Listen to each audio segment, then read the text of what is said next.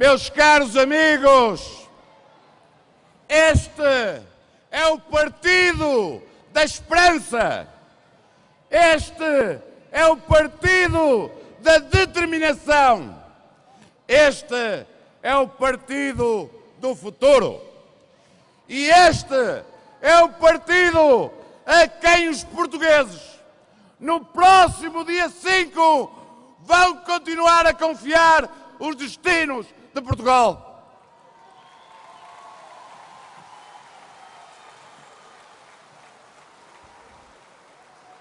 Porque a opção é clara. A opção é entre o engenheiro José Sócrates e o senhor não foi bem assim.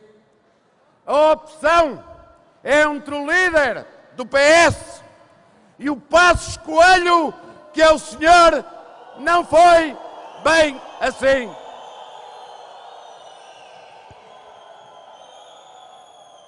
O senhor doutor Passos Coelho, o doutor não foi bem assim.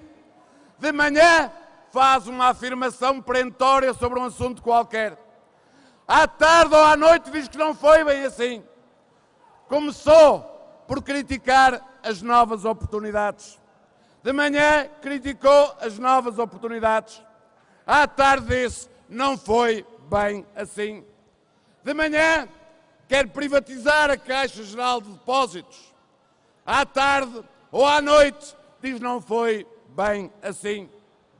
De manhã, numa entrevista, o senhor não foi bem assim.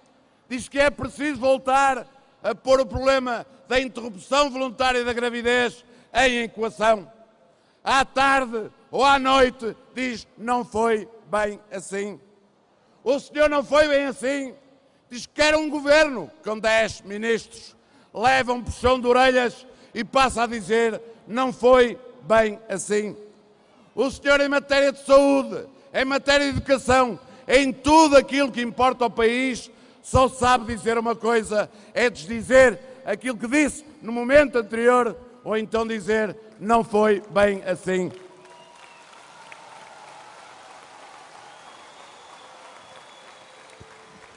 E mandou calar o senhor Catroga. Um dia até o mandou para o Brasil. Pois disse-nos, não foi bem assim. E quando as coisas correm mal no partido do doutor não foi bem assim, eles recorrem ao insulto, recorrem à calúnia. E esta tem sido a campanha mais caluniosa, esta tem sido a campanha mais insidiosa que a memória em Portugal.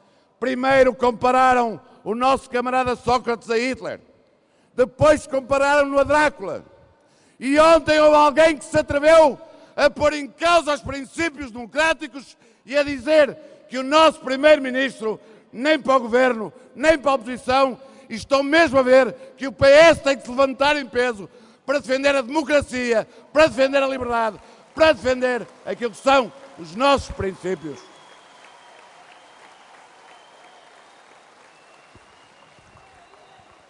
Como é que o país há de confiar no senhor? Não foi bem assim. Mas há outra opção clara que os portugueses têm que tomar. É entre o PS e os velhos do Restelo.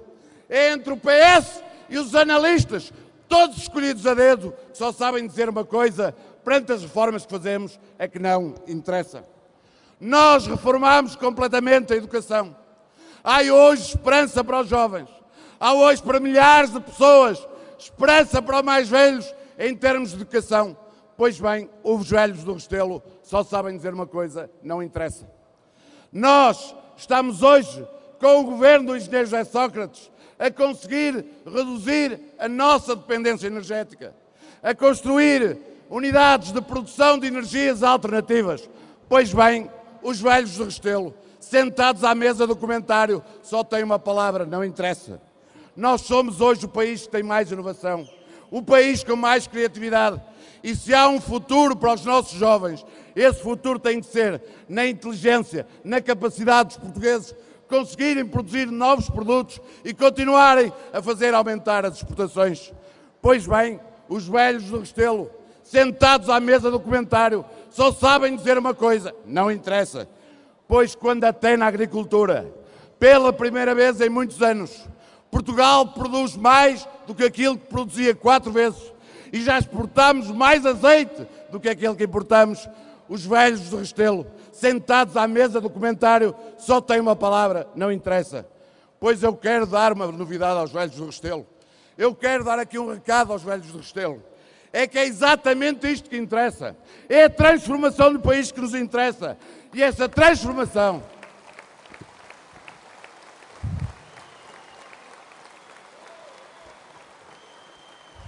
E essa transformação, esta capacidade de entrega, esta mudança que estamos a operar, tem um nome e tem um rosto. Para o engenheiro José Sócrates, teria sido muito fácil, perante as dificuldades do país, perante as dificuldades da crise mundial, quando lhe chumbaram o PEC 4, ir como fariam muitos, embora para casa. Mas não, ele tem a coragem de querer ser julgado pelos seus concidadãos.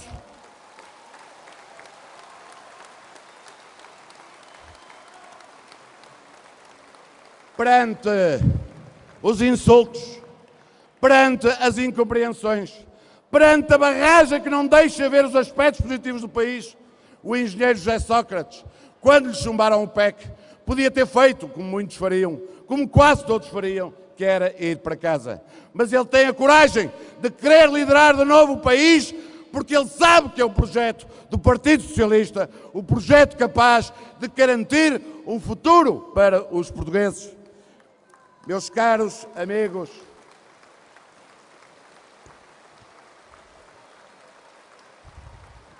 Meus caros amigos, qualquer um, como sabem bem os homens do mar, pode levar o barco quando o mar está chão, quando há acalmia, quando o mar parece uma grande planície.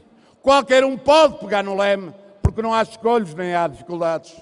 Mas quando, como acontece agora, o mar está cão, quando nós sabemos que o país tem dificuldades, só se entrega um leme a um homem que tenha mão firme, determinação, coragem, que saiba aquilo que quer, e esse homem é o nosso engenheiro José Sócrates.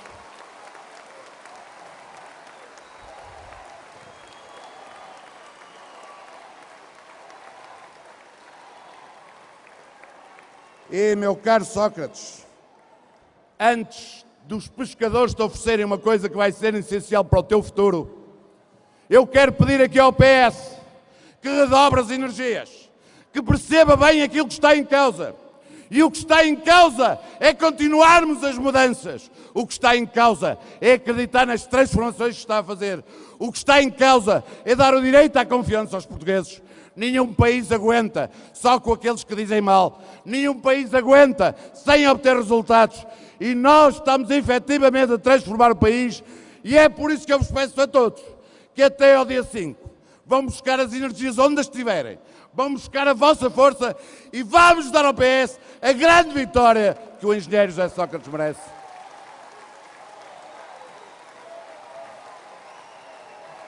Mobilizem-se por Matosinhos. Mobilizem-se pelo PS. Mobilizem-se por Portugal. Nós vamos ganhar. Nós vamos ganhar. Repitam comigo, camaradas. Nós vamos ganhar. Nós vamos ganhar. Nós vamos ganhar.